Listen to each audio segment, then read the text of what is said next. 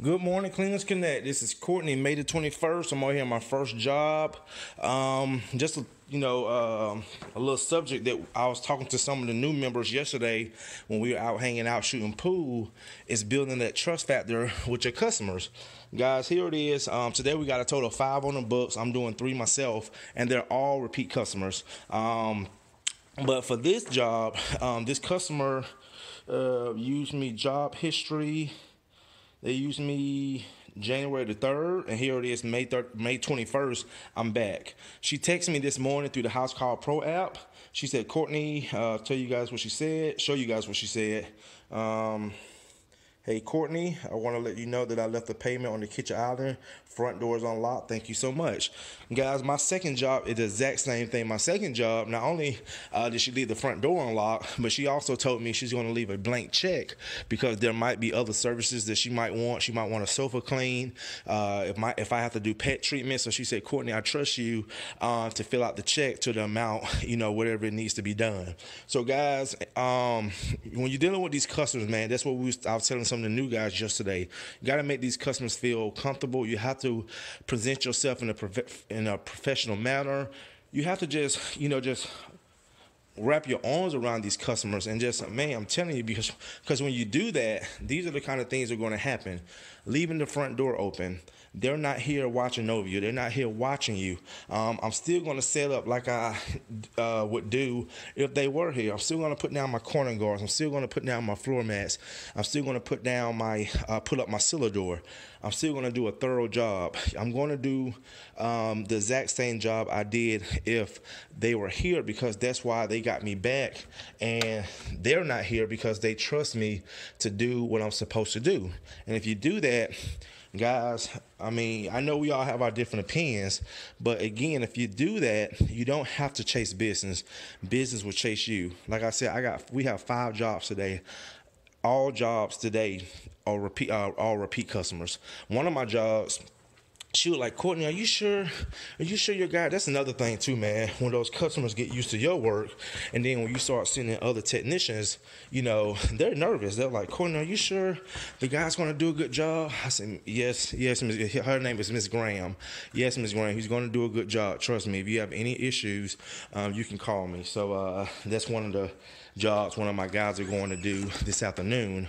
Um, so Guys, I'm telling you, I got my cellar door, about to put the cellar door up.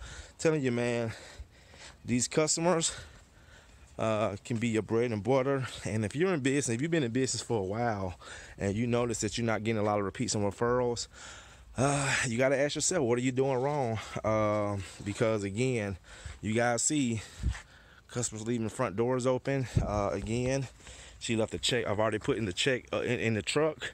Um, and I'm about to get ready to go to my next one. Uh, after this, it's the exact same story. Leaving the check there, leaving the door unlocked. Trust me to go in and do what I'm supposed to do. So uh, go ahead and set up on this job. Nice, beautiful day today. And uh, hopefully I can get some damn news on my van. My new van. Hopefully I can have it before I go out of town this week. Uh, had that damn van almost three weeks now. All right, guys. So, new guys. This one I'm telling you. Trust, trust, trust. Want to take your business to the next level? Trust. And you got to market to those customers um, that will do things like that. When you deal with those lowball customers, they're not going to do stuff like this. They want to, uh, lowball customers want to watch everything you do. Can you get this stain out? Can you get that stain out? Uh, why so much? I was telling the guy that uh, yesterday. Just because you're new in this business or you're starting out in this business doesn't mean you have to market low prices. I mean, I just don't understand that. It has nothing to do with being new in the business.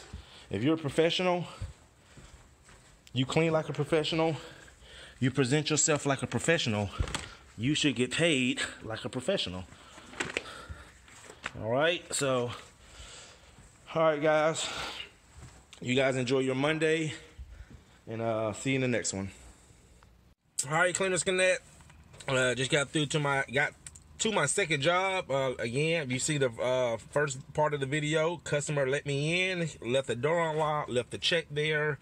Um, you can see the check right here. Today is the 21st, uh, so that's the check from today, the first job. And here it is, the second job, the exact same thing, guys. Two repeat customers. Well, today I got three uh, three repeats, and then uh, one of my contractors, he's also doing three today. Uh, but again, everything that I'm doing today are all repeat customers. And I just got to the house, and let's go in here and see what's going on. And like I said, you can see there's no cars here. Uh, not to say they couldn't put them in the uh, garage, but she said she left the front door open. Look, look at that, guys. Front door is open. These are some of the rugs she want me to clean. We're gonna be doing the whole house. Uh, you see, they already got stuff stacked up. Uh, this is my second time being here.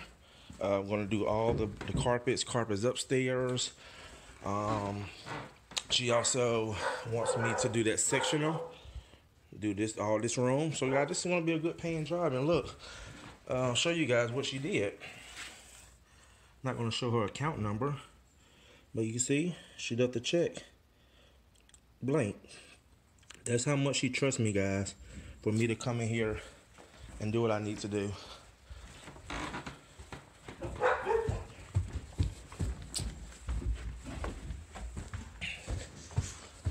So just by looking at it, this is probably going to be a good, say anywhere between 550 maybe 700 dollar job. Um, and then my next job is a small one, Miss Chambers. She's a sweet lady. Uh, I'm just doing three rooms for her for 140. So doing the whole house, carpet cleaning. Yep. So guys, I'm going to get started. So guys, just want to let you know, man, when you deal with the right customers, quality customers, this is what you're going to get um, if you do your part. If you do your part, they will do their part.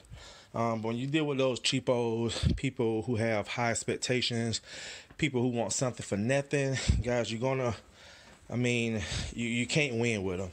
They're not gonna do stuff like this. They're not gonna leave access to the house for you to come in without breathing down your back every five minutes, following you from room to room. Um, you know, it's oh, is every spot of stain going to come out? Those kind of customer guys, I'm just telling you, you want to stay away from them.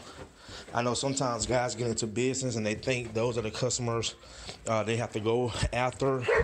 Um, but again, like I was telling the guys last night, is when you market to those customers, um, you're never going to win. I mean, you know, if you want your phones to ring, that's fine.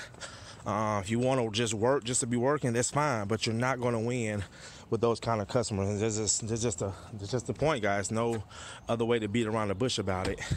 Um, so, all right, guys, go ahead and get started. Um, probably here. Sure, I'll probably be here about three, maybe four hours. So, I'm going to get started, guys, and uh, see you in the next one. Thanks for watching.